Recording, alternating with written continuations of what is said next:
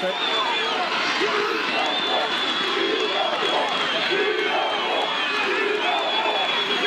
Nāk palīgā apsardzes darbinieki. Pagaidām grūti tikt galā ar. Izlauž nedaudz arī norobežojošo žogu.